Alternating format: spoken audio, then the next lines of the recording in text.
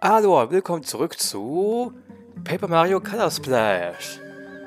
Beim letzten Mal sind wir hier im Port Prisma angekommen, durch einen farblosen Toad, der uns als Brief geschickt worden ist. Ja. Und jetzt sind wir hier und wollen diesen Toad auch noch retten, der hier farblos herumliegt. Wir haben dafür einen Hammer erhalten, nämlich diesen hier, der auch einfärben kann. Und damit können wir auch nicht nur den Boden einfärben, sondern auch Sachen. Wie zum Beispiel diesen Tod hier. Willkommen, willkommen. Warte mal, was geht hier vor sich? Das letzte, an das ich mich erinnere, ist eine, Bande Dusker Schalker ist. Mario? Nein, unmöglich. Mario wollte niemals zu, den langen Weg bis zu Insel kommen. Was bist du so ein Mario, äh, Mario Doppelgänger? Wie viel bekommst du denn für deinen Auftritt? Acht, neun Münzen für die Stunde?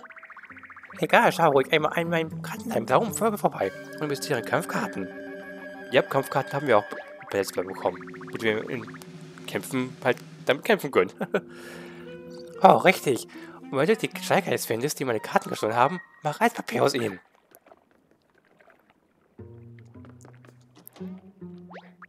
Hey Mario, das war kein guter Arbeit, die Kampfkarten.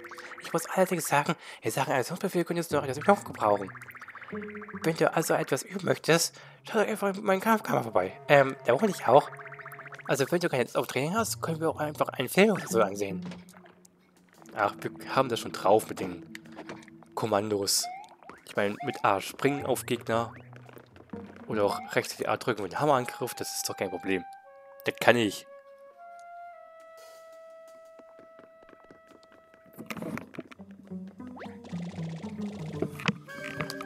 Ach ja, Fabian haben wir auch letztes Mal getroffen. Buhu, die großen Farbsteine, sie sind fort, fort. Hm, der Farbeimer scheint mir unter Schock, unter Schock zu stehen. Bitte nicht weinen, Herr Farbeimer. Lassen Sie uns helfen. Vielleicht können wir sie ja wiederfinden. Die, wie hießen die noch? Großen Farbsterne? Nichts zu machen. Sie sind fort. Sie sind alle fort. Port Prisma ohne die großen Farbsteine ist wie, wie Grünkohl ohne Blaubeeren. Zuerst einmal, dies wirklich verstehe ich nicht. Und zum Zweiten, Igitt! Aber drittens, diese Farbsteine scheinen dir wirklich wichtig zu sein. Und schließlich hast du mir gerade das Leben gerettet. Alles ist so schrecklich. Buhuhu. Moment, was riecht denn hier so? Das riecht ja wie ein Farbstern. Ich wusste es. Sieh mal nach oben. Da ist eine, eine, eine der großen Farbsterne. Oh. Ist er nicht umwerfend? Gut, Prinzessin, Mario, Toad, vielleicht könnt ihr mir ja doch helfen. Helft mir dabei, den großen Farbstein wiederzufinden. Und ich will mich ja nicht beschweren, aber für euch habe ich alles gegeben. Da hat er recht. Wir sollten ihm ein gewisses Gefallen. Außerdem sagt mir mein Gefühl, dass all dies mit unserer Suche zusammenhängt, die mit dem mitteilungswerten Postkartendose begann. Was meinst du, Mario? Wollen wir dem Farbeimer helfen? Ich bin zwar ein Farbeimer, aber ich heiße nicht so. Ihr könnt mich Fabian nennen. Und vielen Dank für die Hilfe. Das bedeutet mir wirklich etwas. Also los, retten wir den großen Farbstern. Achte gar nicht auf mich. Ich mache mich einfach in deiner Tasche bequem. Yay. Haha. Wenn du plaudern möchtest, drücke einfach den Steuerkreuz nach oben, um mich zu rufen. Das ist einfacher und schmerzfreier, als mich mit dem Hammer zu schlagen.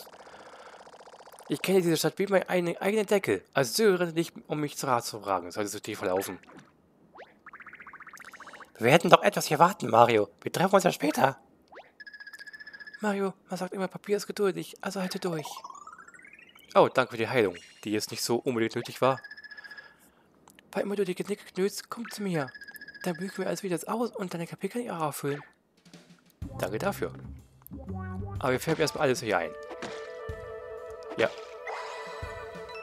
So. Jeden einzelnen Fleck. Und den Tod auch. Ich habe nur die Blumen betrachtet, als ich mich plötzlich so leer gefühlt habe. Wenn ich selbst einen Hammer hätte, hätte ich damit ja auf die Blumen oder Bäume schlagen können, um es bitte so einzufärben. Also, wenn ich meinen eigenen Hammer gehabt hätte und mich doch hätte bewegen können, natürlich. Die übersteckt in Podpress so viel Farbe, dass du aus ungefähr allen hier eine bekommen kannst. So langsam mal, mach wirklich nichts aus. Ja, das machen wir gleich. Oh, ein abgelöster Hammer.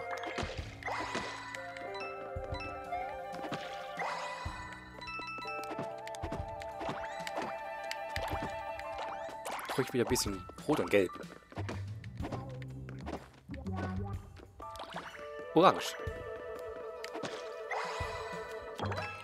Abgelöster Sprung. Sehr schön. Jetzt auch noch einfärben. Wir haben alles ein.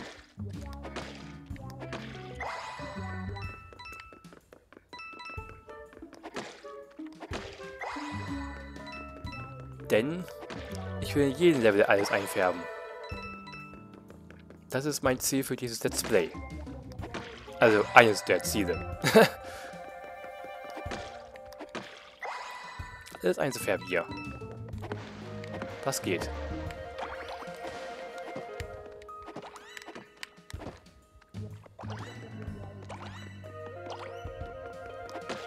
So. Das ist noch. Und hier rot. Mit dem Hammer.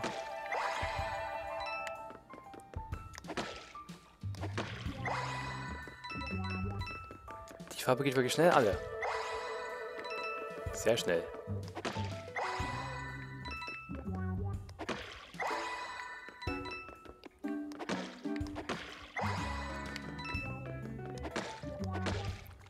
Wir sollten versuchen, dass wir nur einmal treffen müssen.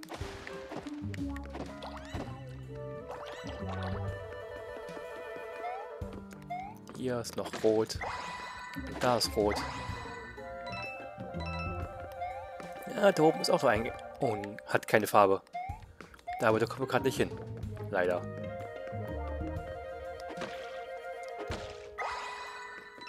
Und noch den Tau hier.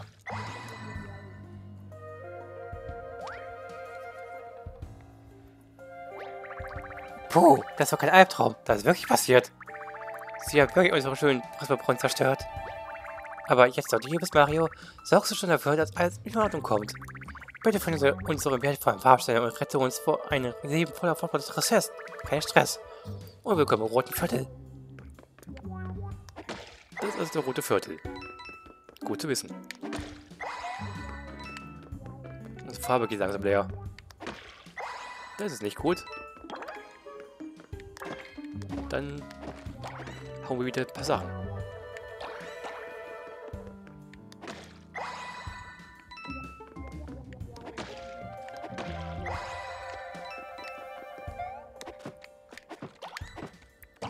Ah, gut, sehr gut. Danke, danke, danke, danke. Rot habe ich echt gebraucht. Na, färb dich ein.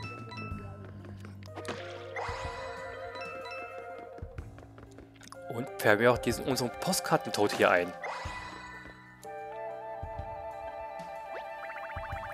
Aufhören! Lass mich in Ruhe! Ich trage doch nur die Post aus! Mario? Was ist denn mit dir passiert?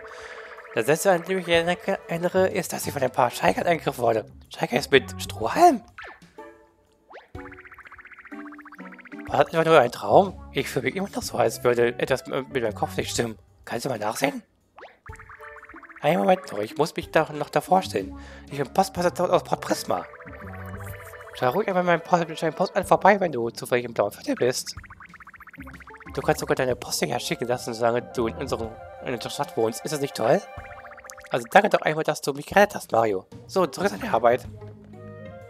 Ja, gern geschehen. Machen wir doch gerne. I guess.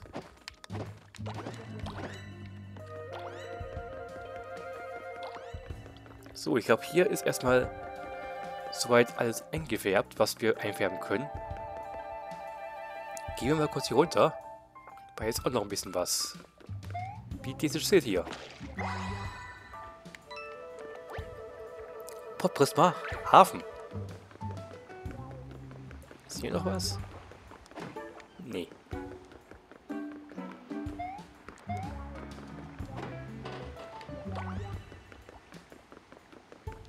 Hm, hier ist nichts. Nur das steht war. Weiß.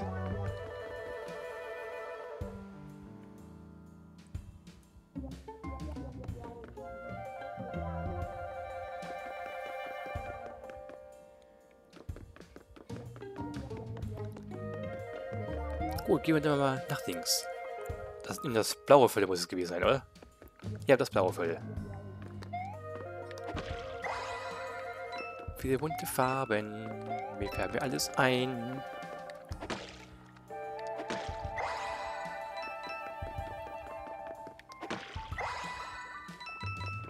Und die Brücke ist kaputt. Mal sehen, was der Tor dazu sagt. Nicht die Brücke. Bloß nicht die Brücke. Oh. Wie gemein. Der besondere Teil des blauen Folios liegt auf der anderen Seite der Brücke. Ich bin zwar kein Experte in Sachen Brückenreparatur, aber ich bin ein Experte in Sachen Brückenreparatur-Experten. Also kannst du mir kaufen, wenn ich sage, ja, wir brauchen einen. Ja, toll. ja, da braucht er einen Brückenexperten. Haben wir nicht einen hier in Port Prisma? Ja, wir hatten einen, aber der hat die Stadt verlassen und jetzt arbeitet er irgendwo an irgendwas. Irgendwo? Irgendwas? Hast du nicht gesagt, du wärst ein Experte in Sachen Brückenexperten? Egal, die Brücke können wir wohl erstmal vergessen. Hey, eine kurze Erinnerung. Wenn du verlaufen hast oder nicht weiter weißt, drück einfach nochmal den Cursor oben. Dann komme ich und tue mein Bestes, dir zu helfen. Ja, brauchen wir aber gerade nicht. Solange die Brücke kaputt ist, komme ich nicht zum Postamt. Naja, und hier können wir speichern. Das ist ein Speicherblock. Springe dagegen, um ein Spiel zu speichern. Und wenn du mehr über das Speichern erfahren möchtest, berühre das äh, Fragezeichenbuch Dingens auf den Gameboard und ziehe die elektrischen Bedienungsanleitungen an. Nein, nicht jetzt. Falscher Zeitpunkt dafür. Ich brauche wieder ein bisschen Farbe. Grün ist auch nicht schlecht.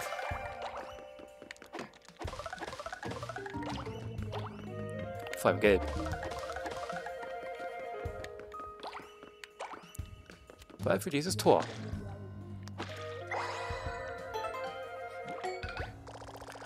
Du bist ein richtiger Handwerker. Sieh nur, die Tür ist so gut wie neu. Jetzt sollte sie auch öffnen. öffnen. Farblose Dinge funktionieren nicht so, wie sie sollten, bis sie jetzt eingefärbt sind. Also keine Zurückhaltung mit dem Farbhammer. Ja, ja, ja, ich weiß. Aber das brauchen wir gerade nicht. Gumm. Nein, Bumm. Ach, jetzt habe ich mir das so lange für den richtigen Moment aufbewahrt. Und jetzt das. Na egal. Angriff. Nächster Kampf. So, wir haben unsere äh, Karten. Wir haben sowohl Karten ohne Farben als auch jetzt Karten mit Farben. Die Karten mit Farben müssen nicht einfärben, ist doch logisch.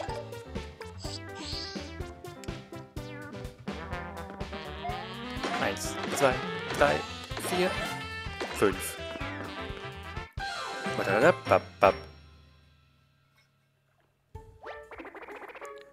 Wenn ich nur Bumm statt anstatt Gumm gesagt hätte. Oh, das ist ja eine Hammerpappe. Wenn du von denen genug sammelst, hat in deinem Farbhammer mehr Farbe Platz. Manchmal lassen sich Gegner in einem Kampf äh, machen Manchmal lassen Gegner nach einem Kampf eine fallen, also sammeln sie schnell, bevor sie verschwinden. Ja. Und das gibt schon einiges. Gute Nacht, du grausame Welt. Warte mal, du bist kein Kummer, du bist ja Mario. Ich kann kaum glauben, dass dieser Kerl mich erwischt hat. Ich habe gegen den allerersten Kummer verloren. Also danke, dass du mich wieder eingefärbt hast. Das, das hier ist das blaue Wolle von Port Prisma. Oder, nun ja, so das war's das mal. Wer weiß schon, wie viel Farbe diese Schufte mittlerweile abgesaugt haben. Hoffentlich kannst du ihnen das Handwerk legen. Ja, das werden wir schon. Keine Sorge, überlass es mir. Warte mal, was geht hier vor sich? Normalerweise fließt hier Wasser und treibt das Wasserrad an. Das sieht so toll aus. Jetzt steht es einfach still und bewegt sich nicht. Das ist weniger toll.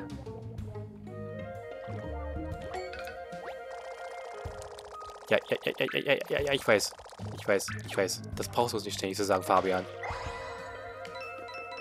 Dass wir dich rufen können mit Beschleuniger da oben. So, hier noch eins einfärben. Und den Tod.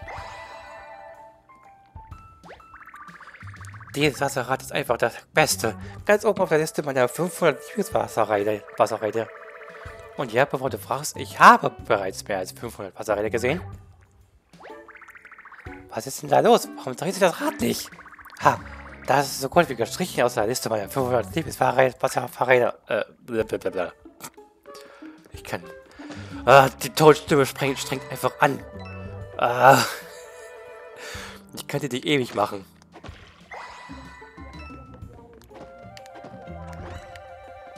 Warum sind jetzt einfach so viele Toads?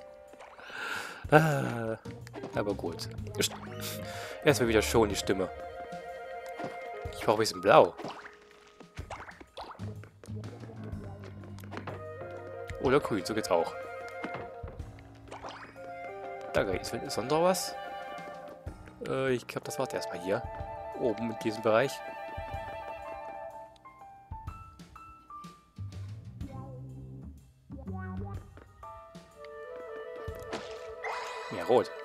Und mehr Schuhe. Ablose Sprünge. Die schwächsten Angriffe, die wir haben können.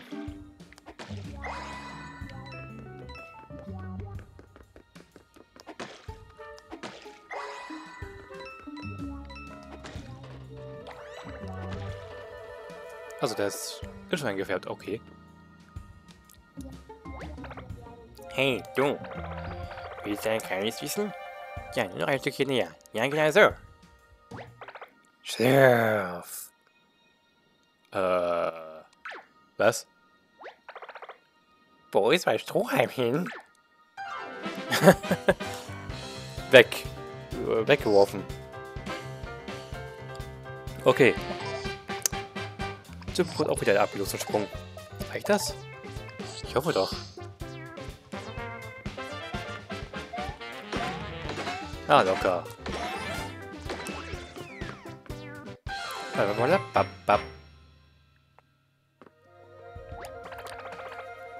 Du willst also das Geheimniswissen wirklich wissen? Ich trage eine Maske, weil ich so schüchtern bin. Ja, du heißt ja auch Shy Guy. Deswegen.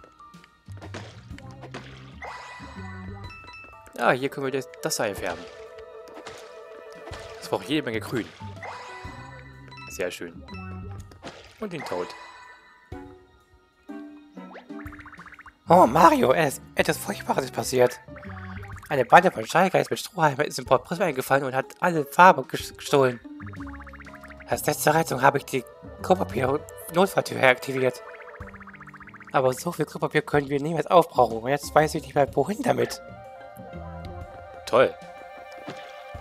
Danke dafür. Ha, erster Griff. Und das ohne Tutorial.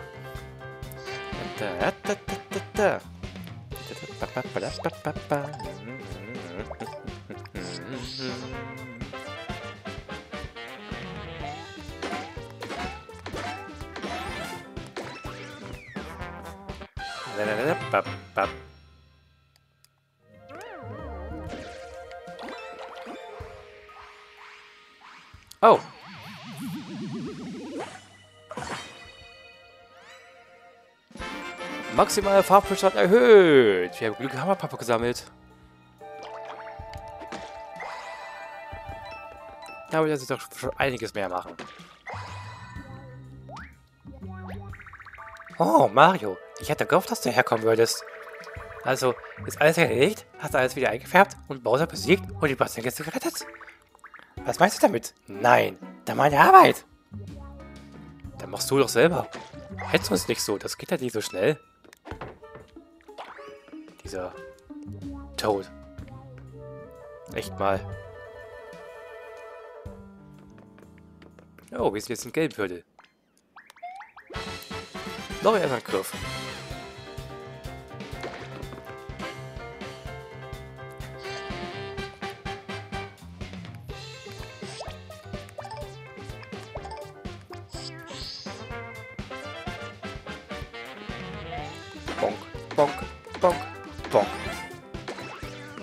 Eigentlich hören, was ich auf dem Gamepad mache? Ich glaube nicht, das ist wahrscheinlich ein bisschen zu leise, oder? Naja, macht ja nichts. Hauptsache ich weiß, was ich mache. ich habe versucht, mich zu tarnen, indem ich mich zu dieser gelben Wand gestellt habe. Aber das haben die so durchschaut. Jetzt, dass du mich gerettet hast, wird mir einiges klar. Ihr solltet im Leben mehr Risiken eingehen. Und los! Jit. Okay, tschüss. Hast du überlebt? Mario, hier drin, Hilfe! Oh, Mario, ein Held.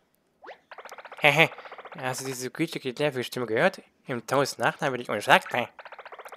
Und du weißt, woran ich noch kein unschlagbar bin? Im Kampf. Ey, gegen den Erstangriff, das ist unfair. Wir konnten nichts dagegen machen. Danke dafür. Dafür wirst du jetzt kaputt gemacht. Mit meinen Stiefeln. Das soll kein perfekt werden.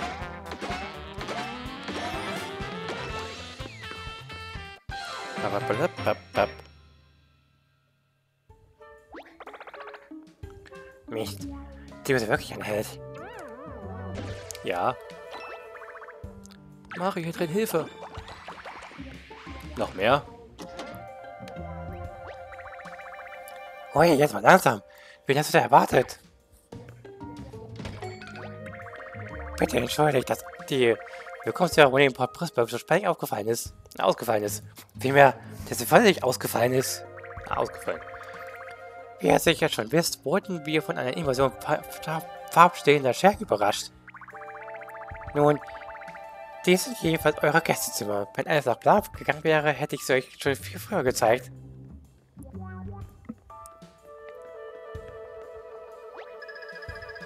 Wie sieht es denn aus, Mario? Hast du bereits Farbstellung für Farbung zurückgeholt? Ah, Prinzessin Peach. Bitte erlaubt mir euch verspätet in unserer bescheidenen Stadt willkommen zu heißen. Ihr seid sicher von der langen Reise erschöpft, also ruht euch so gerne in dieses Zimmer aus. Danke dir, Lieder, Liedertaut. Nach all der Aufregung sind wir in der Tat ein wenig erschöpft, also werden wir dieses Angebot gerne zurückkommen. Viel Glück, Mario. Zögere nicht, mich dir zu besuchen, wenn du dich erholen möchtest. Oder auch wenn du nur etwas Aufmerksamkeit brauchst. Ich glaube nicht, Mario. Ich muss mich nur verabschieden. Es gibt so viel jetzt, um das ich kümmern muss. Ich wünsche dir viel Glück da draußen, Mario.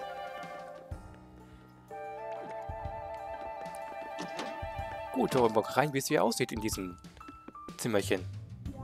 Äh, wo ist Peachen? Sei vorsichtig da draußen, Mario. Wenn die Kämpfe ausgehen, komm wieder zurück und ruhig dich aus. Spiel nicht den Helden. Ich meine, du bist natürlich ein Held, aber übertreibe es nicht. Du weißt schon. Ach, hier links. Sieh nur, Mario, ist es nicht ein magisches Zimmer? Wie entzückend. Ich hoffe, es macht nichts aus, weil ich mich ein wenig ausruhe, während du und Fabian nach einem Farbschein suchen. Ich spreche wohl auch von Mario, wenn ich sage, keinesfalls, Prinzessin. Auch das ist eine gute Idee. Mit etwas Glück sollten wir alle Farbsteine in Hand bringen, wieder zurückgeholt haben. Ich danke dir, Fabian. Haltet euch uns selbst in schweren Zeiten.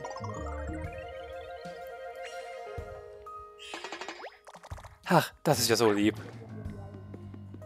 Ist wirklich sehr schön hier. Ganz nett. Heißt es, dass Toad und Peach zusammen in einem Bett schlafen? Hm. Würde ich nicht so schön finden, wenn ich sie wäre.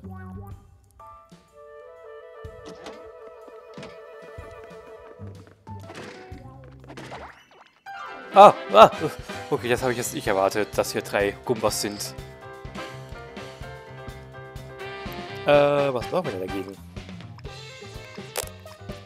Wie wär's denn mit... Nee, das, das, wir nehmen einfach einen abkürzen Hammer.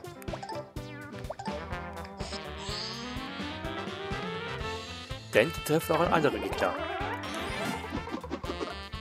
Nicht der erste, sondern auch... Es trifft einfach alle. Sehr gut.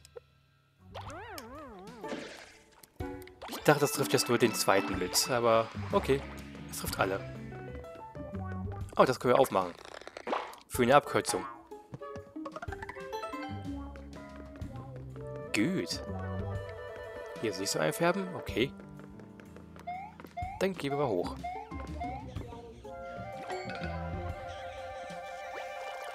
Sieh nur, er ist so darauf konzentriert, dass die, Farbe, die Farbe zu stehen, dass er uns noch nicht bemerkt kommen sieht.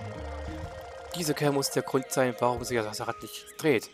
Er sagt im Wasser die Farbe ab und das alles steht still. Ja, ja, ja, ja, ja, ja. Brauchst du nicht schnell zu sagen, Fabian. Oh, jede Menge Münzen. Wow. Na dann. Er ist ein Griff mit dem Hammer.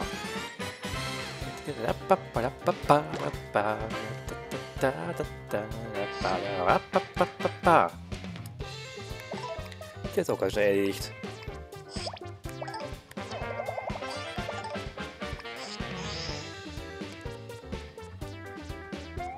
Eins, zwei, drei, vier. Bonk. Perfekt. Und damit können wir das Wasser einfärben. Und das Wasser fließt wieder mit uns mit. Wo treiben wir denn hin?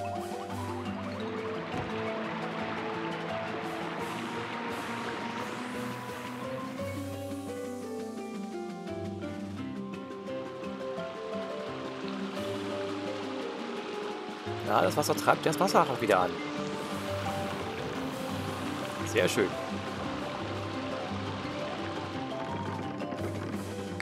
Und das Wasserrad treibt. Es treibt die Rolle an. Womit wir da durch können.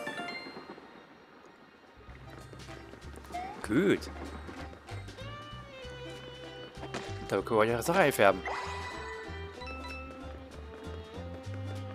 Und hier hoch zum Farbstern.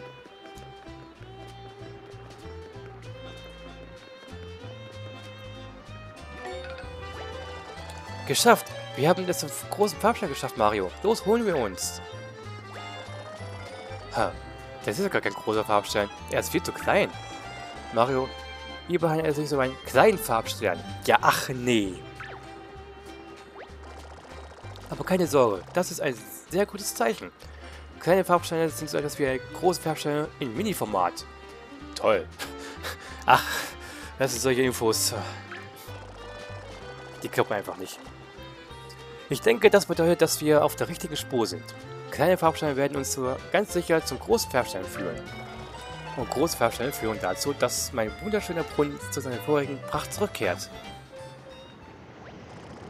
Hey, was geht hier vor?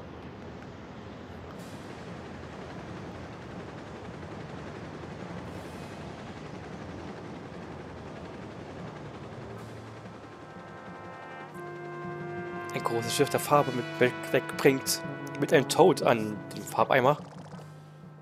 Also der sieht ja gar nicht gut aus. Die Luftgardere macht sich mit einem großen Eimer in unserer Farbe davon. Haben sie etwa so viel Farbe aus, aus Port gestohlen? Schnappt ihr den Stern und los geht's.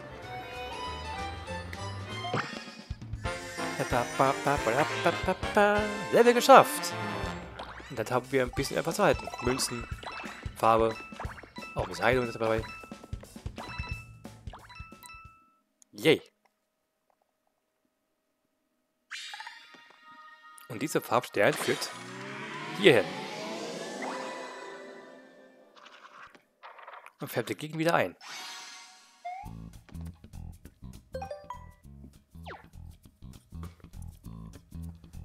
Also gut. Damit hätten wir unseren ersten Farbstein bekommen. Das heißt, als nächstes geht's zum Papyroni-Pfad. Aber das wär's dann für den heutigen Part. Wir sehen uns dann in dieser Serie wieder. Bis dahin sage ich bis dann und Aloha.